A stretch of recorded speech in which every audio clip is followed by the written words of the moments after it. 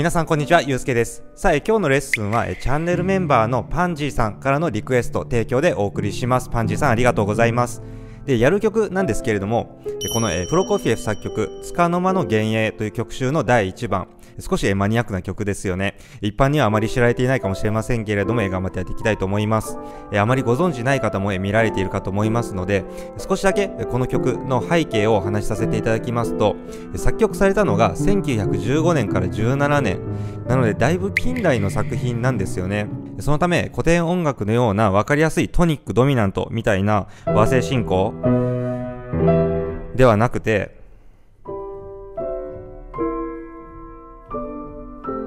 どこに向かっているのかよくわからないような不明瞭な調整、または不協和音が強調されるようなところもあったりと、少しとっつきにくい、つかみどころのないような音楽ですよね。いただいたリクエストでこの曲の弾き方、また分析もできればしてほしいということなので、まあ、できる限りでさせていただきたいと思うんですけれども、このプロコフィエフという作曲家の作風について、まあ、こういった近代的な謎な和製進行というのもその特徴の一つなんですけれども、あまりこのプロコフィエフの場合は、緻密に計算して考えて構築したというよりは感覚的に捉えて曲を書いているような節があります。調べると、ウィキペディアにもこのように書かれていますね。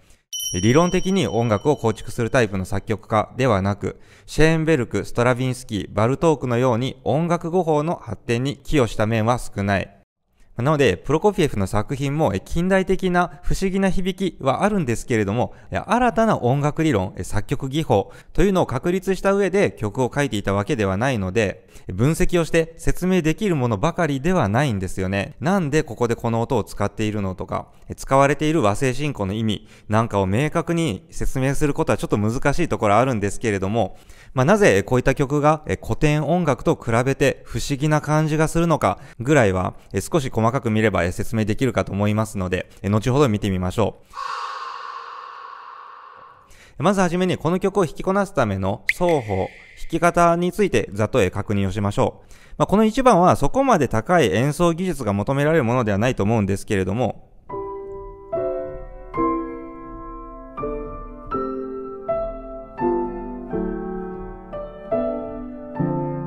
シンプルですよね。左手がずっとこの同じ形のセブンスの和音を取って平行移動しているだけです。すべて135の指で平行移動する形で弾いてあげればいいです。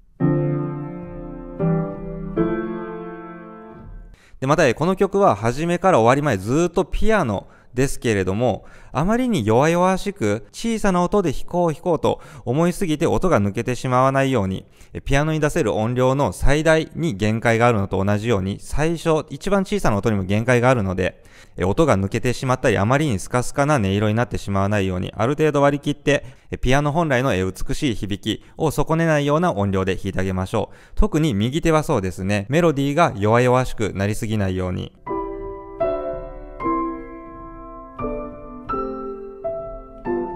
この左手のハーモニーに対してよりクリアに響かせましょ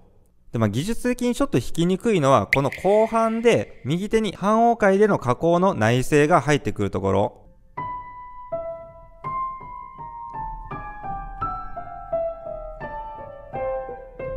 まあ、あまりスムーズな指使いというのが不可能なところもね、こういったパッセージではあるので、無理やりにでももう使える指で弾いていくしかないんですけれども、この上の主旋律は綺麗に響かせてあげたい。内声に負けてしまわないように。で、またこの内声の加工のラインもできるだけ綺麗につなげてあげたい。そういったことを意識しながら、指使いですけれども、4、3、2、1で、で、ここは5、2。で、ここ、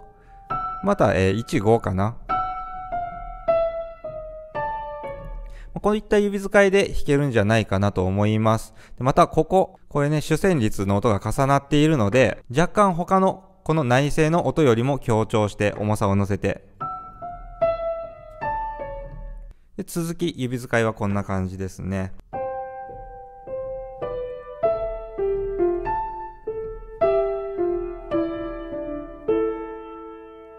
どう頑張っても指だけでこの旋律をきれいにつなげて弾くということは無理なので、細かくペダルも踏んであげます。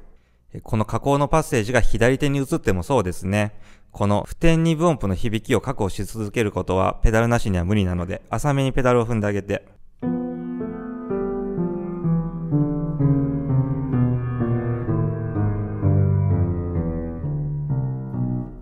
まあ、といったぐらいですかね。弾き方、演奏上の注意に関しては以上です。で、この曲の分析、調整の不明瞭な感じ、怪しい和声進行に聞こえるけれども、一体何が起きているのかについて説明をしたいと思います。まず、冒頭から、一体何調を弾いているのか。まあ、結論言うと、この曲、終わりが e マイナーのハーモニーで終わっています。で、また、オープニング、始まりも、E マイナーセブンスから始まっていて、まあ、曲全体はなので E マイナーで書かれているという風に見て間違いないかと思います。しかし調合が書かれていませんよね。普通 E マイナーだと、ファがシャープになるはずです。しかしそれが書かれていません。これをマイナーではなくて E フリジアンモードといって、まあ、こういった戦法で書かれていると見れなくもないんですけれども、しかしながら調合には書かれていないものの、すぐにファのシャープが出てくるんですね、最初の部分では。ここのあたりまでは E マイナーを弾いている感じで間違いないと思うんですけれども、しかしそれでも、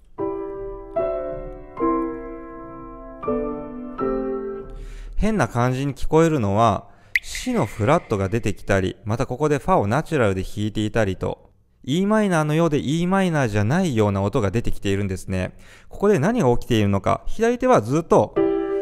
この、セブンスの5度を抜いたような形が平行移動して下がっていくだけなんですけれども、もう少し細かく見てみますと、まず下の2音、これはすべて、ダイアトニックという書き方をしていますが、この e マイナーのスケール上の音を平行移動して弾いているだけなんですね。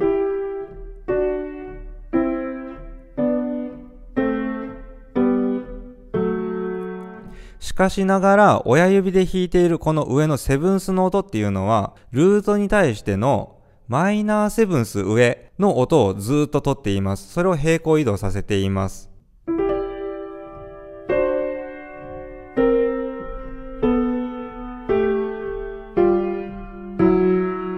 なので、この上の音だけは e マイナーのスケールではなくて、まあ、言うならば d マイナーのスケールをとっている。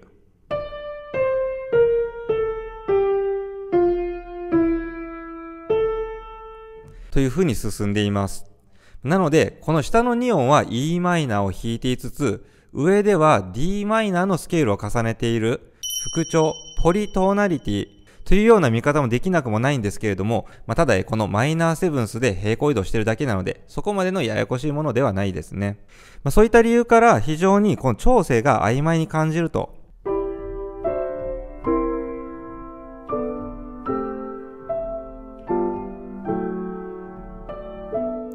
で、この5小節目から、ここからは、下の音もファのシャープが外れて、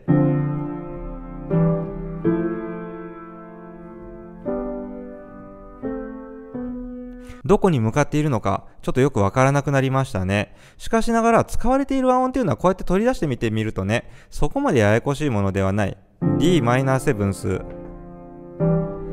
F メジャーセブンで G というような、この4小節を C メジャーをトニックとして捉えるならば、2、4、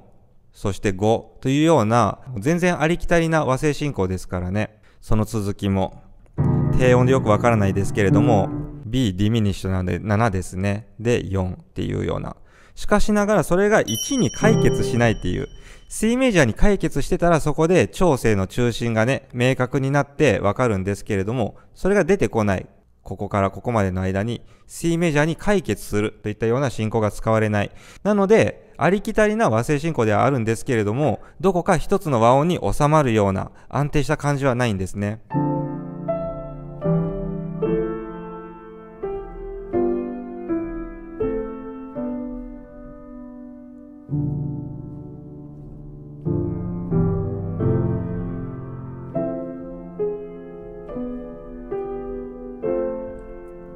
で、たどり着いた先の和音は、綺麗な F メジャーの3和音なんですけれども、そこに解決したような感じもしないですよね。それもドミナントトニックという和声進行で繋がっていないから、ここの時点でもう F メジャーになっています。それがただこういった動きで引き伸ばされているだけ。で、この続きは最初の繰り返しです。内声の半音階の加工が加わっているだけで、基本的には一緒ですね。変化があるのはここから、この7小節目に相当しますが、和声が変わっていますね。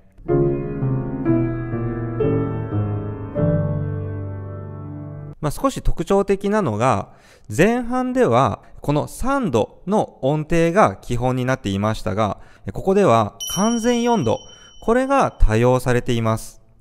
特にこの最後の、この和音なんかは完全4度を2つ重ねたような形で、少し浮遊感のあるような3度を重ねた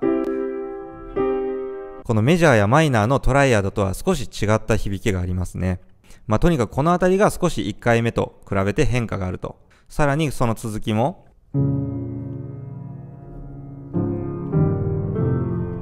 ここの3つの和音の進行ですけれども、全音というふうに私が書いたのは、全音音階、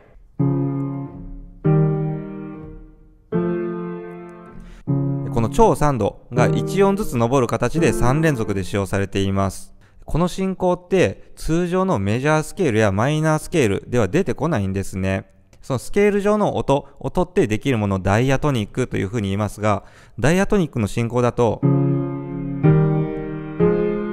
の3つ目はマイナーになるはず。そうならずにこの終わり、ラをナチュラルにすることで、調整感が曖昧になりますね。なんですけれども、ここで行き着いた先の和音、F メジャーであるということは、1回目と一緒なんですね。そしてその続き。なので、全く一緒に書くこともできたと思うんですけれども、違いますね。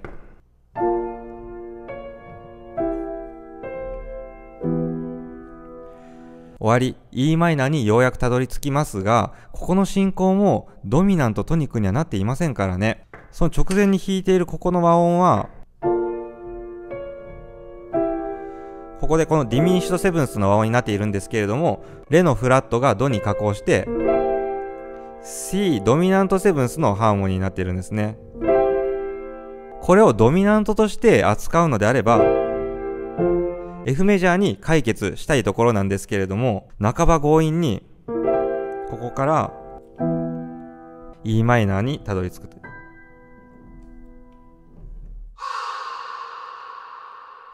といった具合で、このプロコフィエフがやっていることっていうのは、使っている和音自体は何かすごく奇抜なもの、真新しいものではないんですけれども、それを従来のトニック、ドミナントの解決の文脈で使わないでいる。それによって調整の中心がどこなのかっていうのが非常に曖昧なんですね、一曲を通じて。またオープニングのこの下はダイアトニックの進行をとっているんですけれどもその上は全く違うずっとマイナーセブンスを平行移動させているので、まあ、結果的にそこを取り出すと d マイナーのスケールになっているとそういったところからこの独特な曲の雰囲気が生まれているんだと思いますで、今日はこれで終わらせていただきます。パンジーさんリクエストありがとうございました。